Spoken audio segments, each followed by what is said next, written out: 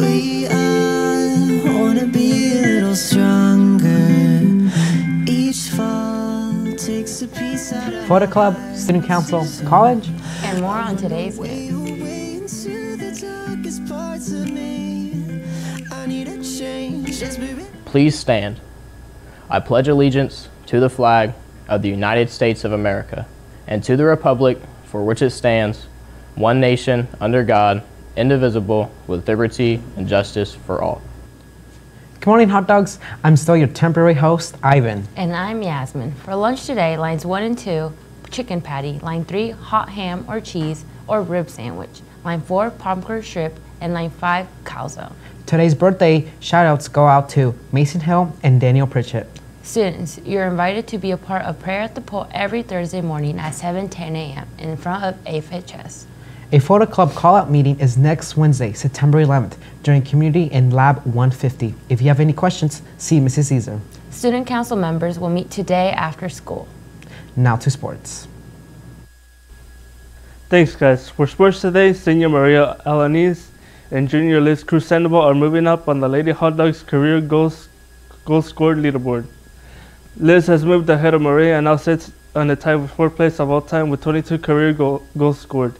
Their next target for both players is Brittany Martin and Kelby Jenkins, who currently ho- hold the third place spot with 25.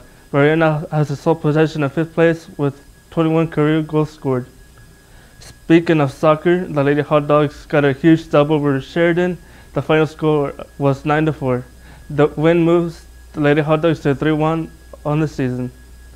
Don't forget there's a call out for swimming right after school.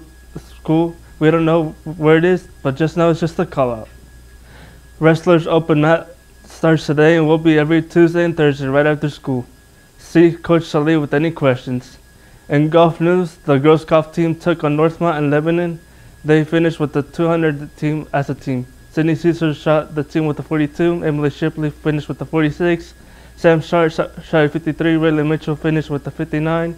Thor Hawkins shot a 61. Good luck to all the teams who play tonight. I'm Mr. Angeles Jr. Now on to weather with my friend Ivan. Good morning, hot dogs. For weather today, there will be a high of 73 and a low of 54. It's currently 53 degrees, and during lunch time, it's going to be warmer by 10 degrees. Later this evening for the games, it will be 70 degrees, and later tonight, it will be 63. That's it for the weather. Now back to your host.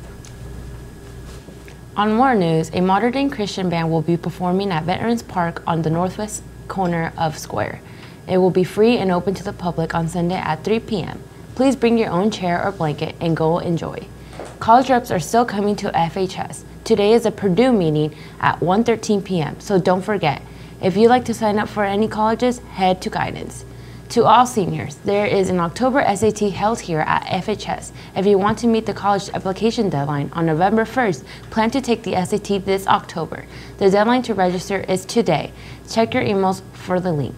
College Go Week is introducing waivers starting all September for specific colleges. Seniors take this opportunity to apply to these colleges for free before the end of this month. Check your email for more information about the colleges and the deadlines. That's it for the news, and congratulations to Mr. Hale on becoming our new assistant principal. If you see him, make sure to congratulate him. We will see you tomorrow.